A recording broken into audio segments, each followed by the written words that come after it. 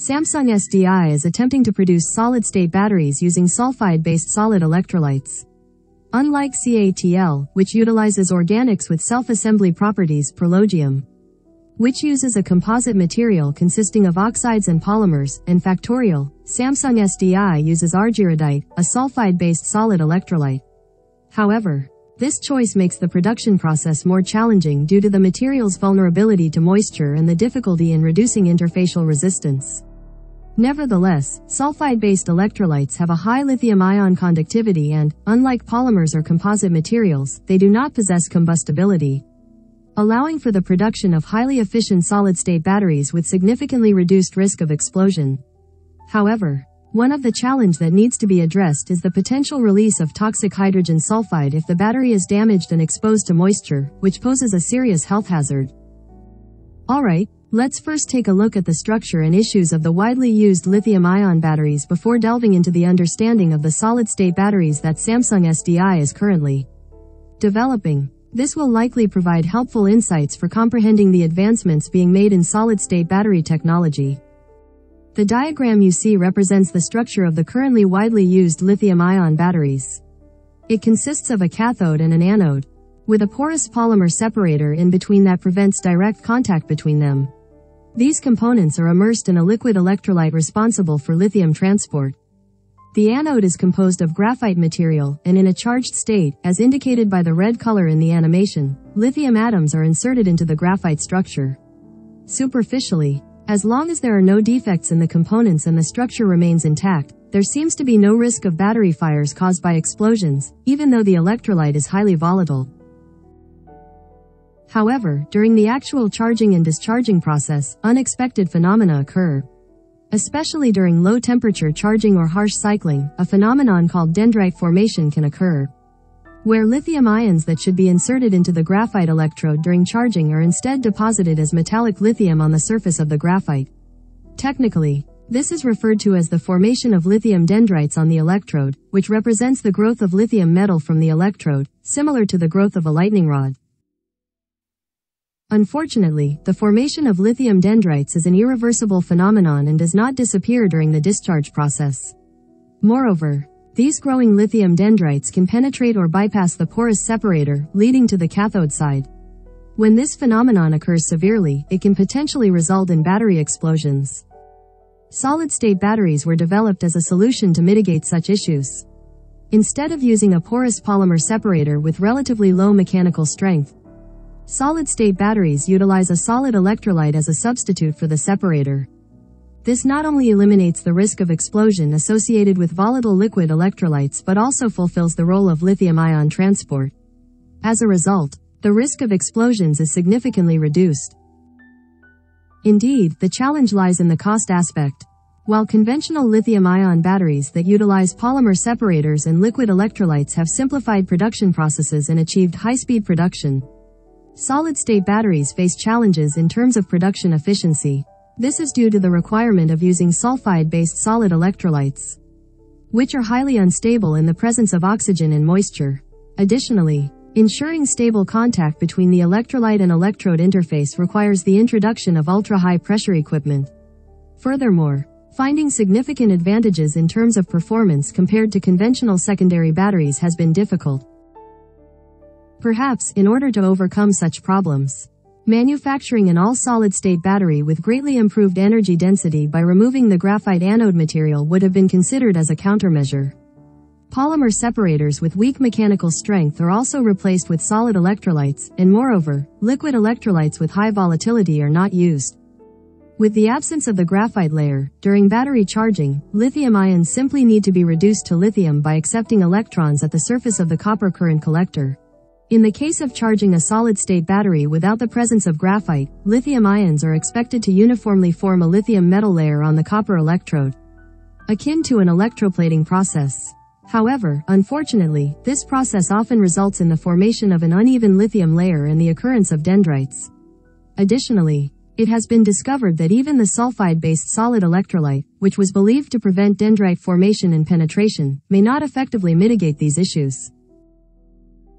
To address this issue, both Blue Solutions, who pioneered the mass production of polymer-based quasi-solid-state batteries in the past, And many recent companies declaring mass production of solid-state batteries have adopted the approach of inserting lithium foils in place of graphite.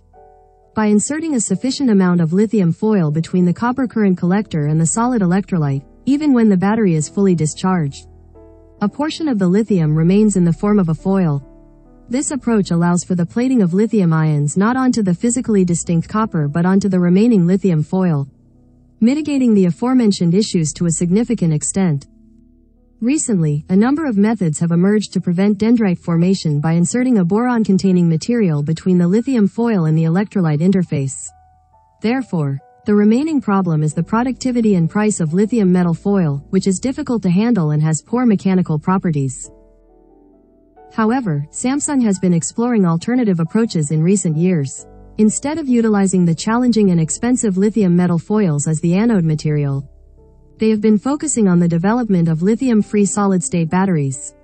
If successful, this approach could significantly simplify the production process compared to using lithium metal foils, which would differentiate SDI from other companies in the field of solid-state batteries. And just a few days ago, SDI announced that all solid-state batteries produced in 2027 would adopt the anode-free method.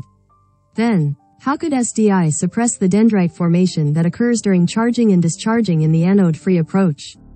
The method is simpler than you think. It is to coat a material in which nanometer-sized silver is mixed with tens of nanometers of carbon black on a copper current collector. As shown in the figure, a composite of carbon and silver is placed as a thin film between the copper current collector and the solid electrolyte. When examining the patent filed by Samsung, as seen in the diagram, it is apparent that the carbon black particles form a composite with a small amount of silver. Carbon black plays a role in preventing the agglomeration of silver particles, while silver enhances the interfacial adhesion with the adjacent solid electrolyte. This is the interpretation they are making based on the patent information. It is true that there have been numerous patents found among companies attempting to develop anode-free solid-state batteries, where a carbon black layer is inserted between the copper current collector and the solid electrolyte.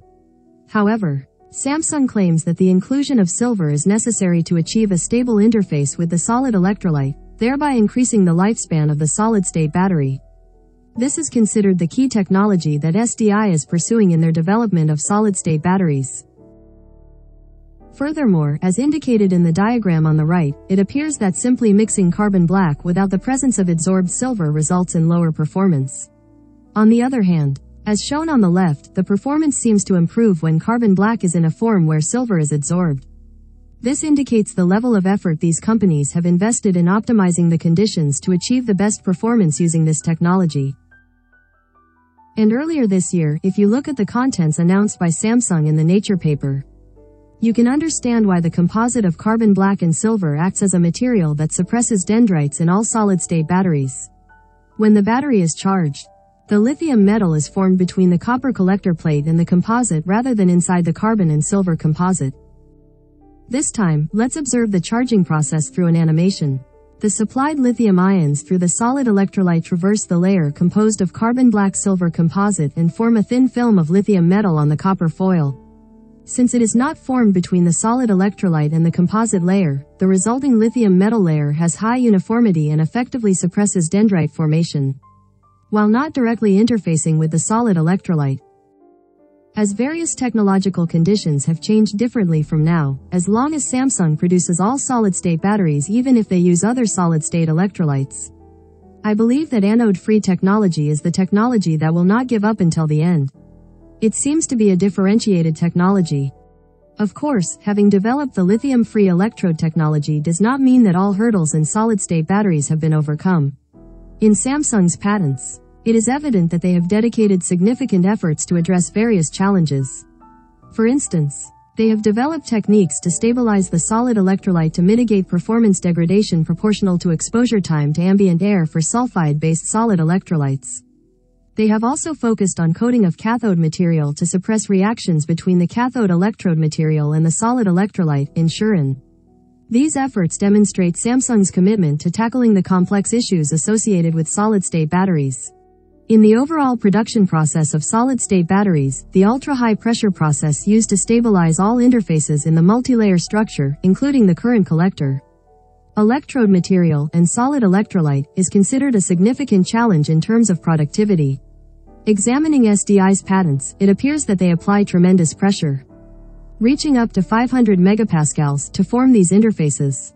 This pressure corresponds to the highest specification of commercially available equipment and is by no means a trivial task. Indeed, the pressure endured by the recently explored submarine during the Titanic wreckage expedition was not sustainable, resulting in its explosion.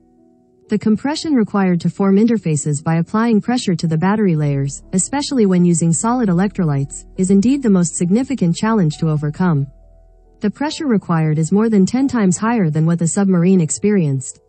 This poses a major obstacle, particularly in terms of productivity for electric vehicle applications. How SDI plans to address this issue remains to be seen, as they continue to innovate and develop solutions for high pressure processes. Today's video ends here. Goodbye.